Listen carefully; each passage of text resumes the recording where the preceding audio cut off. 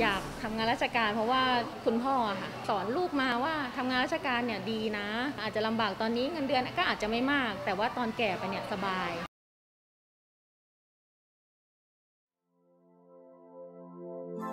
ถ้าทุกหน่วยงานไม่ว่าจะเป็นกรุงเทพมหานคร หรือว่าส่วนกลางนะครับหรือภาคเอกชนเนี่ยถ้าเราจุดประกายตรงนี้ขึ้น ผมก็เชื่อว่าหน่วยงานอีกเยอะที่มีความต้องการแรงงาน ถ้าเราไม่ให้โอกาสเขาเนี่ยเราก็จะไม่รู้เลยว่าจริงๆแล้วคนพิการเนี่ยสามารถทำงานได้ดีกว่าคนทั่วไปในบางตำแหน่งด้วยซ้ำ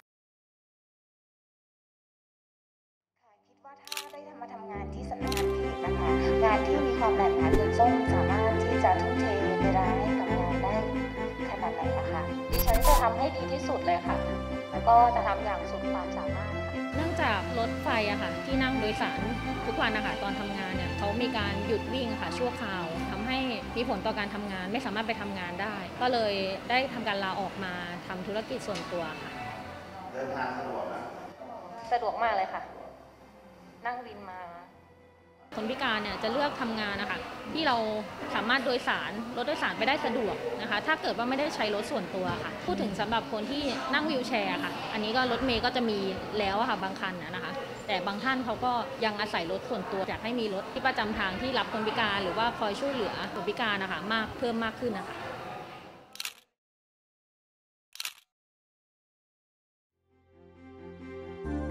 ก็ต้องมีหาตามเว็บไซต์อะค่ะนะคะของเกี่ยวกับ ว่าทราบข่าวจากเพื่อนๆเขาต้องรับกับคนพิการจริง ๆ เราถึงอยากจะไปสมัครตรงนั้น เพราะว่าเราจะได้ทำเลย แต่ถ้าเราไปแข่งกับคนที่เขามีร่างกายที่สมบูรณ์นะคะมันจะค่อนข้างยากนิดนึงเพราะว่าเขาจะมองเรื่องความพิการของเราอะค่ะ เป็นอันดับแรกว่าเราอาจจะไม่สามารถทำงานตรงนั้นได้ แต่จริง ๆ แล้วอะเรามีความสามารถหรือว่าศักยภาพอะค่ะ ที่ไม่แพ้คนที่ร่างกายสมบูรณ์เลยอะค่ะ อยากทำงานราชการ เพราะว่าคุณพ่อค่ะสอนลูกมาว่าทำงานราชการเนี่ยดีนะอาอาจจะลำบากตอนนี้เงินเดือนก็อาจจะไม่มาก แต่ว่าตอนแก่ไปเนี่ยสบาย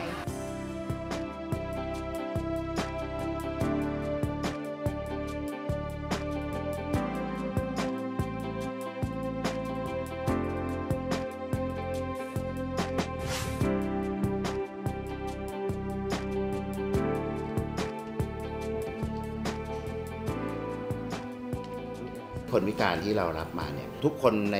องค์กรเนี่ยจะต้องมองเขาเป็นหนึ่งในทีมของเรา ไม่มีการแปลกแยกไม่ใช่ให้เขามาแล้วมองเขาเป็นคนพิการแล้วก็ไปนั่งเฉยๆเราทำแบบนั้นไม่ได้เพราะต้องให้เหมือนกับเขาเป็นเพื่อนร่วมงานคนหนึ่ง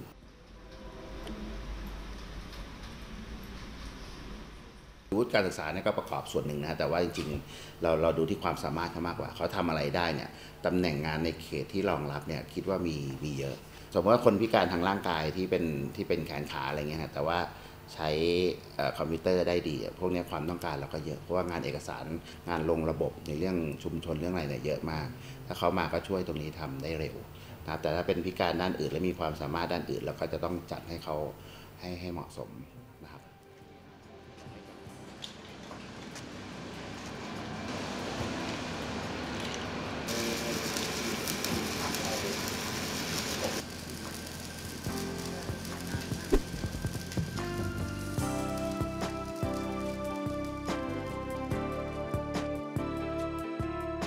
เรามองว่าวิธีคิดในเรื่องของการให้โอกาสกับคนพิการนะครับเป็นเรื่องของสิทธิเรื่องของความเท่าเทียมเนี่ยเราก็อยากจะให้คนเหล่านี้ให้เขามีความภาคภูมิใจสังคม แล้วก็ในภาคส่วนต่างๆ ยอมรับในความเป็นตัวเขา ซึ่งจริง ๆ แล้วในระดับนานาชาติระดับโลกเนี่ยเขาก็ไปไกลกว่าเราเยอะนะครับ ในประเทศไทยเราอาจจะไม่ได้เท่าในสากลนะนะแต่ว่าก็ถือว่าเป็นการจุดประกายที่ดี โดยเฉพาะกรุงเทพมหานครเนี่ยเราก็พยายามที่จะ เน้นนะครับในการให้ความเท่าเทียมกันในทุกๆคน ถ้าเราจุดประกายตรงนี้ขึ้น แล้วก็กระพือออกไปในสังคมนะฮะ แล้วเขาเห็นว่าคนมีการรับตรงเนี้ย ผมก็เชื่อว่าหน่วยงานอีกเยอะที่มีความต้องการแรงงานนะครับคนพิการซึ่งจริง ๆ แล้วเนี่ยถ้าเราไม่ให้โอกาสเขาเนี่ยเราก็จะไม่รู้เลยว่าจริงๆแล้วคนพิการเนี่ยสามารถทำงานได้ดีกว่าคนทั่วไปในบางตำแหน่งด้วยซ้ำนะครับ แล้วถ้าเผื่อว่ามันจ้างได้เยอะเนี่ยมันก็จะยกระดับคุณภาพชีวิตของคนพิการซึ่งมี จำนวนมากในสังคมนะครับที่ไม่เคยได้รับโอกาส มันก็ถือว่าเป็นความเท่าเทียมกันอย่างแท้จริง